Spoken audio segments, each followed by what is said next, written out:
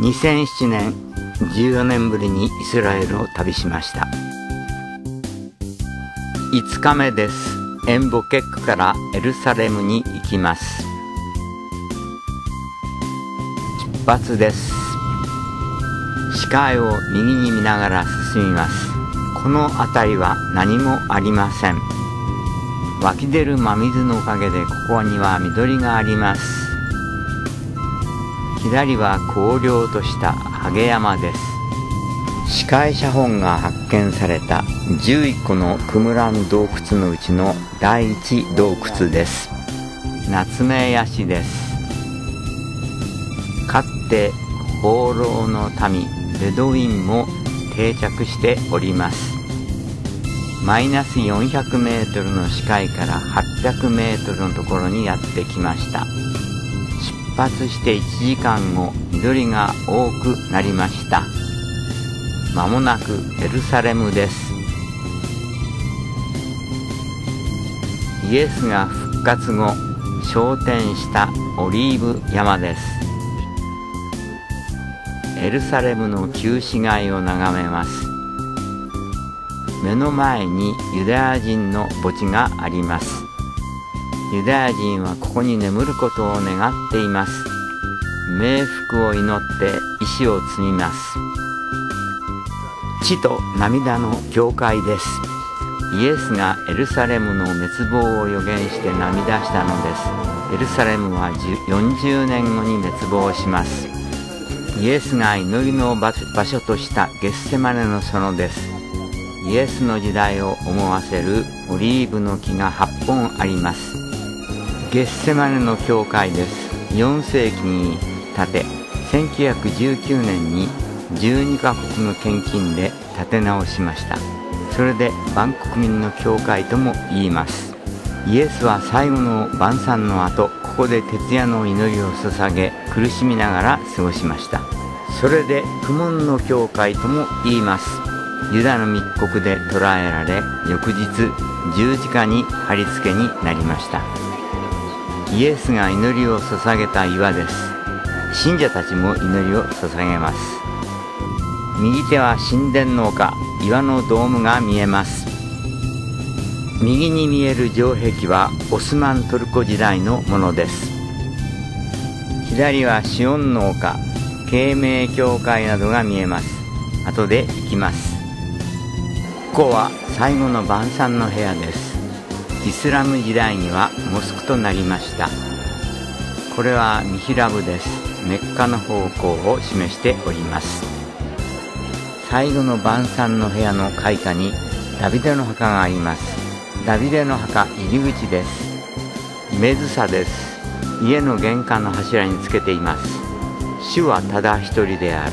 さまざまな戒め神は繁栄を与える。このようなことを書いた紙が入っています。ダビデの墓です。紀元前990年頃のイスラエルの王です。シオンの門です。この城壁には門が8つあります。そのうちの1つです。古代のメインストリートカルドーです。レストラン入り口で記念撮影。南の壁考古学公園を眺めます。これから見物に行きます。上はイスラムの聖地黄金のドームです。正面左に嘆きの壁。荷物検査を受けて嘆きの壁広場に行きます。多くはユダヤ人でしょう。清掃のユダヤ人男性もいます。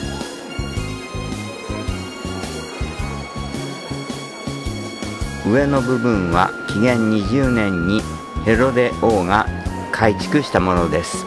70年のユダヤの反乱で神殿は破壊されここだけが残りました。ユダヤ人は2000年ぶりに40年前から立ち入れるようになったのです。手に持っているのは聖書です。2000年前にこの地を追われやっと戻ってきたのです。壁の隙間の白いのは祈りを書いた紙です。ここに入るときは帽子をかぶります。帽子のない人はこの切羽を借ります。人間は地上の存在だ。神の戒めのもとにある。ということで頭を覆うのです。左は男性右は女性の祈り場です。自分たちの神への信仰を守り続けてきたのです。聖書をはじめしてはいけないことしなくてはいけないことこれを2000年守り続けてきたのです。追放されて世界中に離散し2000年経ってこの神から与えられた土地に国を作りました。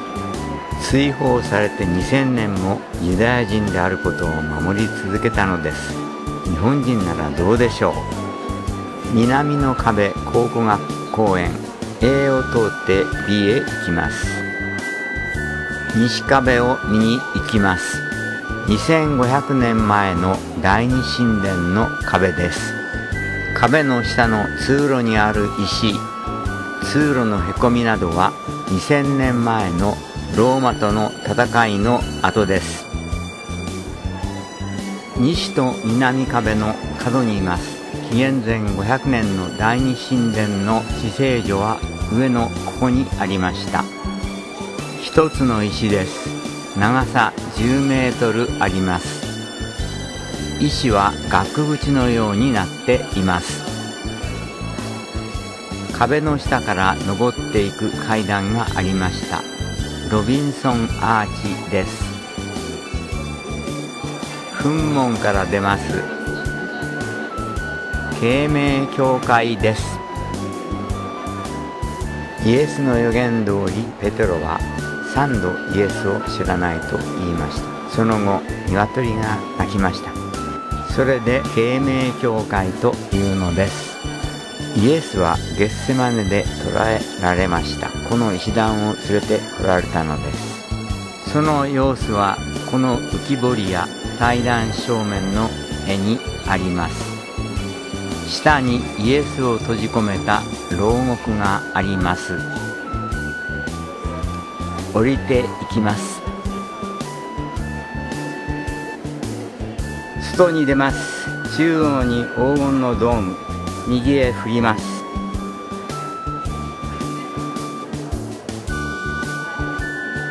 中央に見えるのは何でしょう？